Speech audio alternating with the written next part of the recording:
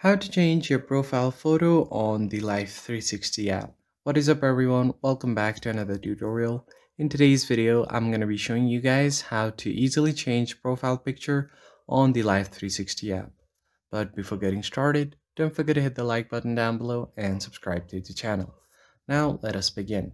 The very first thing you need to do is have the application on your device and make sure that it's up to date and then just open up the app now once you are on the app, on the top left you'll see the gear icon. So just tap on it to open up your settings. And once you get to your settings options, you just want to head over to your account. And once you land on the account section, the first thing you need to do is tap on your profile section right here. And right here you have an option to change your name. And then simply tap on the profile picture to change it. Now you can choose uh, profile picture from your gallery or take an instant photo. I'm just going to choose it from my gallery.